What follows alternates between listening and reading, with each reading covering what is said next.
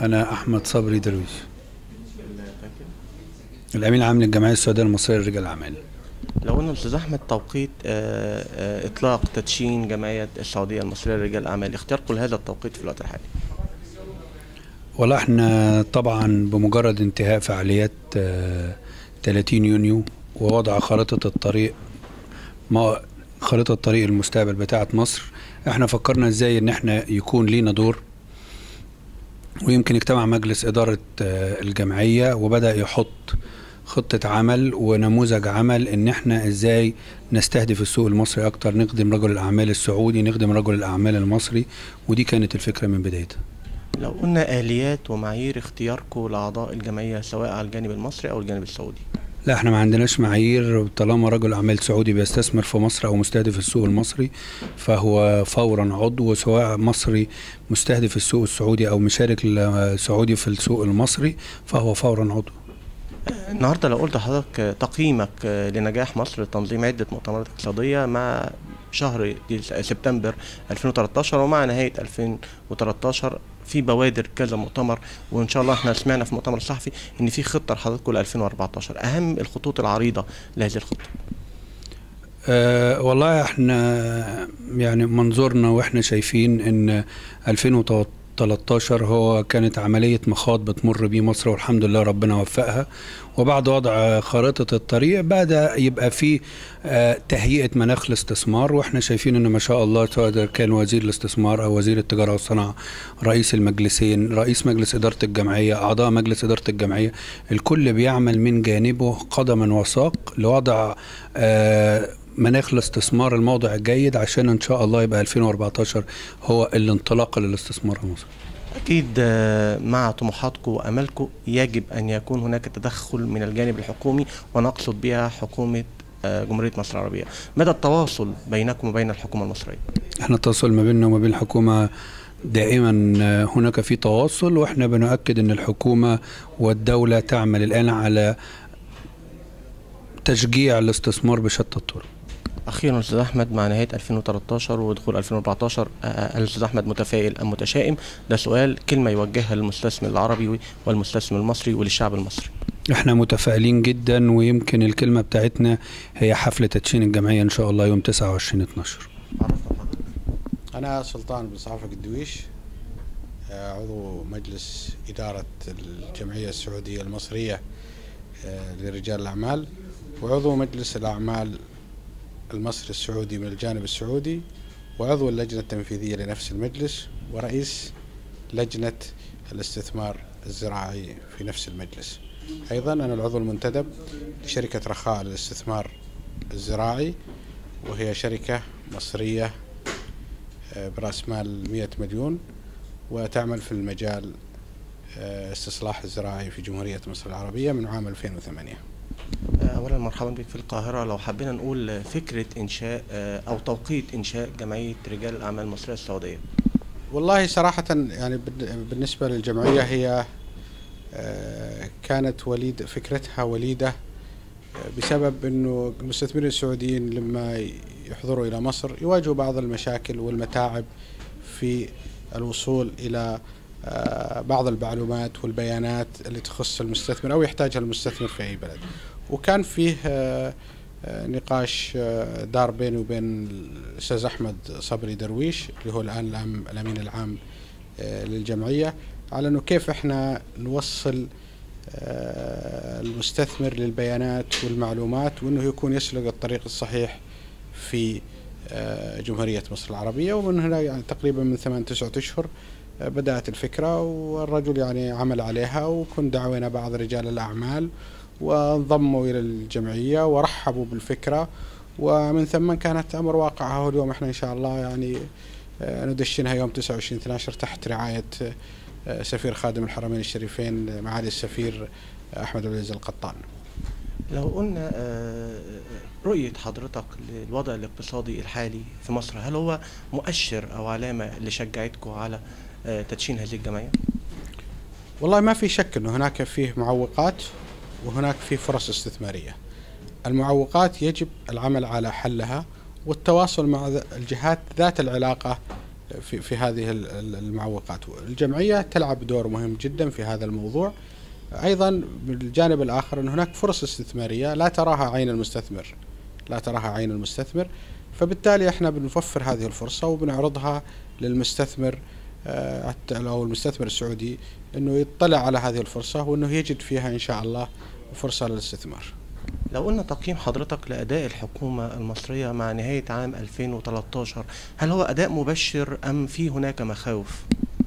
والله يا أخي دائما عشان الواحد لا يكون يعني لا يعطيك رد إلا رد واضح وصحيح ما في أي مخاوف عند المستثمر السعودي في الاستثمار في جمهورية مصر العربية لقناعات لدى المستثمر أنه البلد هذه إن شاء الله دائما هي ادخلوها زي ما يقولوا بسلام آمنين وما في شيء قلق. الحكومة يعني تحاول جاهدة وتعمل ولمسنا هذا الشيء منها لتذليل جميع العقبات للمستثمر في جمهورية مصر العربية وهذا فعلا إحنا لمسناه من الحكومة بدون استثناء. لو قلنا حجم الاستثمارات الفعلية على أرض الواقع في مصر حاليا وطموحات جمعية رجال الأعمال السعودية لمصر المستقبل هو معروف إنه سبعة واثنين في العشرة مليار دولار هي حجم الاستثمارات السعودية في جمهورية مصر العربية وهي الأكبر في حجم الاستثمارات كدولة. يعني الطموح لن يتوقف لدى المستثمرين. هناك عوائق وهناك مشاكل. إن شاء الله في تذليل هذه العوائق هذه المشاكل سنرى استثمارات إن لم يكن مثل هذا الرقم سيكون قريب منه. استضافت مصر مؤتمر دولي خلال شهر سبتمبر مؤتمر التعاون الخليجي اللي نظمته دولة الإمارات في مصر.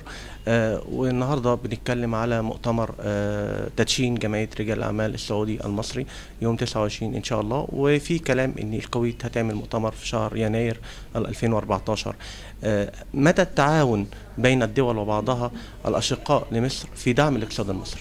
والله شوف هم مكملين لبعض. أمس كانت الإمارات في منتدى المصري الخليجي وكان الحضور السعودي هو الأميز.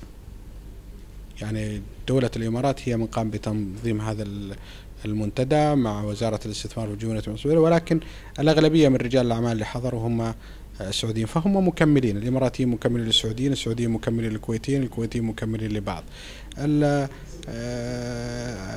لما كان في المنتدى الخليجي كان هناك إعلان عن استثمار للسعودية وهذا الاستثمار كان لشركة رخاء للاستثمار الزراعية اللي هي استكمال توقيع عقد تمويل ب 150 مليون ريال. كان يفترض أن يوقعه رئيس مجلس إدارة الشركة اللي هو الشيخ محمد العبد الله الراجحي والذي أنابني عنه في توقيع هذا. فكان هذا من الأحداث التي كانت في منتدى الخليجي. سنرى إن شاء الله في الجمعية مماثل لمثل هذه الاستثمارات. وإن شاء الله نرى في الكويت يكون في استثمارات كويتية ويكون في استثمارات سعودية. فالعملية هي مكملة لبعض يعني. لو لغة التواصل ما بين جمعية رجال الأعمال المصرية السعودية المصرية والحكومة المصرية هل في أوجه تعاون مشترك في استجابة من الحكومة لدعم هذه الجمعية؟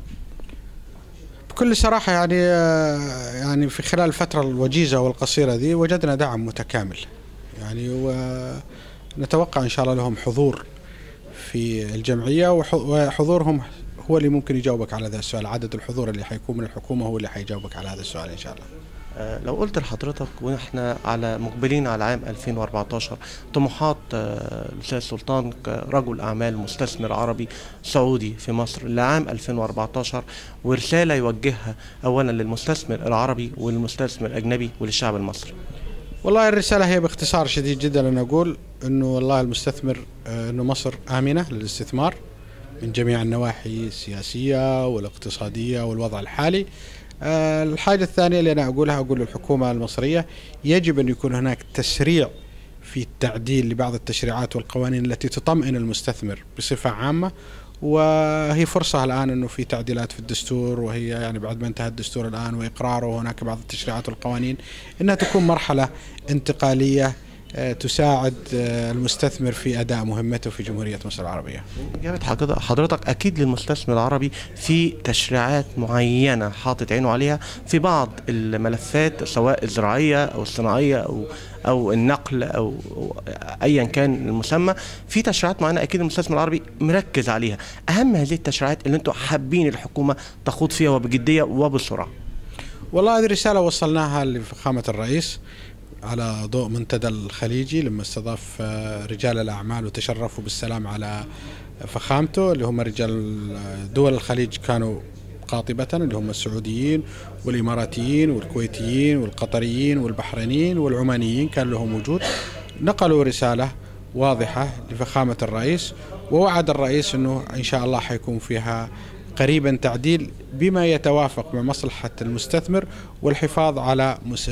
على على آه، حقوق آه، الحكومة في مثل هذه التع... أكيد لرجال الاعمال المصريين دور بارز جدا في التعاون والتواصل مع رجال أخو... أشقائهم العرب سواء سعوديين أو الإماراتيين أو الكويت نوع التواصل دايما بين رجال الاعمال المصريين ودورهم في الجمعية مستقبلا. والله يا أخي التواصل كان موجود لكن إحنا إن شاء الله وثقنا هذا التواصل وقربنا أكثر من خلال هذه الجمعية. في اجتماعاتها المستمرة وفي لقاءاتها وفي المنتديات والمؤتمرات التي ستقوم إن شاء الله في السنوات أو الأشهر القادمة. فأعتقد أن الجمعية ستلعب دور مهم جدا في التواصل ما بين المستثمرين السعوديين والمصريين فيما بعض. إعدادنا على الأستاذ سلطان شجاعته في التصريحات وجرأته في التصريح الإخبارية. لغة الاقتصاد لغة الأرقام القيمة أو المبلغ المتوقع استثمار إحنا وقفنا عند 7.2 مليار. توقعاتك. للاستثمارات القابلة. والله يا أخي صراحة آه، أنا قلت آه، قبل كذا في, أكثر من مناسبة إنه المستثمرين جادين وإن المستثمرين حريصين للاستثمار وهذا سيعتمد على حجم الفرص التي ستطرح من الجانب الحكومة المصرية على المستثمرين. لكنه لا أستطيع أن أحدد لك رقم ممكن أعطيك رقم يكون أقل مما هو متوقع. لكن اللي أكده لك كل الفرص اللي حتطرح مكتملة الجوانب وواضحة المعالم أتوقع أنه حيكون في استثمارات كبيرة جدا.